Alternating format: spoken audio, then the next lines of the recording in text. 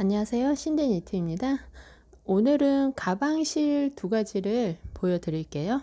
이제 가방실, 망태기 가방 같은 예, 그런 가방실을 많이 찾으셔서 쇼핑몰에 가방실 모음이라고 해서 예, 올려놨습니다. 그리고 이제 별도로 번호별로도 검색을 하셔도 예, 나오고요.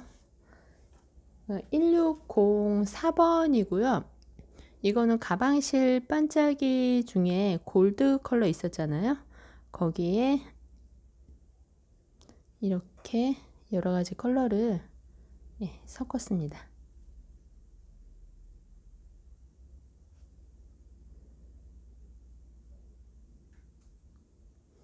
뭐 하늘색, 감색, 핑크색, 갈색, 연두색 예, 그런 종류가 들어갔어요.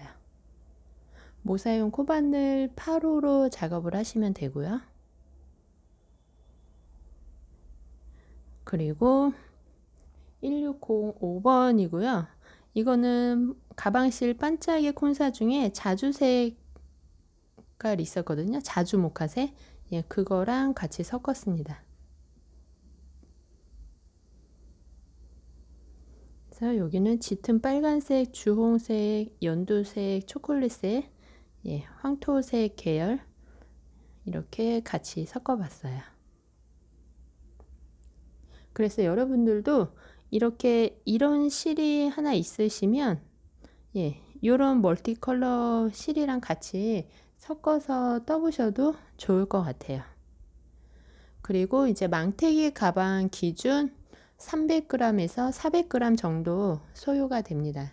예, 크기에 따라서 조금씩 다른데 이제 그 구매하신 실량에 맞게끔 뜨시면 될 것 같아요. 만약에 300g 시켰는데 조금 부족할 것 같으면 그냥 가방 사이즈가 약간 작아지는 거잖아요. 예, 그렇게 어쨌든 가방 뜰 때 실량은 예, 그 정도 생각하시면 돼요.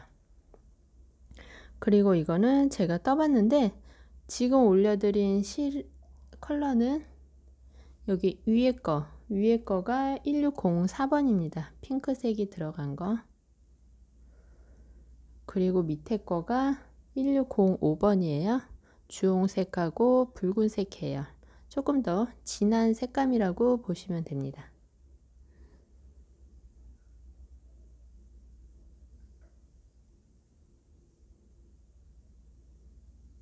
네, 이렇게 해서 두 가지 컬러를 보여드렸습니다. 감사합니다.